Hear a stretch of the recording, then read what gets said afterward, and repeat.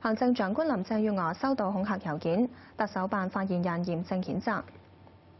政府總部人員朝早例行檢查郵件時，發現一封寄俾林鄭月娥嘅信件入面附有刀片，並且帶有恐嚇嘅內容。相關人員報警處理。據了解，封信係本地郵件，內容提及反修例事件，要求放人。特首辦話：香港係法治社會，絕唔容忍暴力同埋恐嚇等違法行為。